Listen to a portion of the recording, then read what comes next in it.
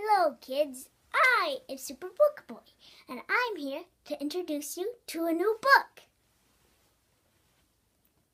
Aha!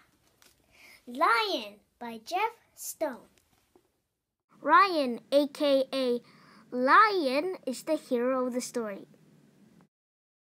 He is a cyclist that is hurt and he starts to take a Chinese medicine called Dragon Bone, as you can see there, to help him heal and relieve stress. Ah, Dragon Bone. Release stress. The bad guys want some of this Dragon Bone medicine because they believe they can live longer by taking it. But Ryan and his friends help protect the dragon bone.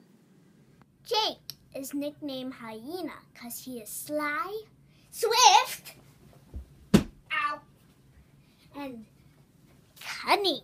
Phoenix and Hootie teach Ryan Kung Fu so he can fight and protect himself.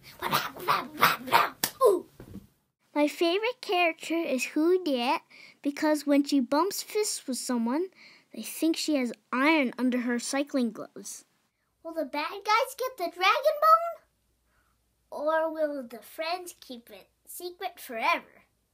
Read the book and you'll find out.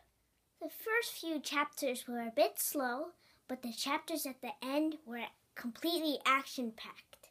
I'd recommend this book to kids who like Kung Fu Panda and cycling.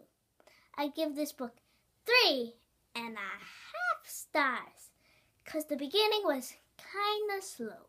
It's all for now from Super Book Boy.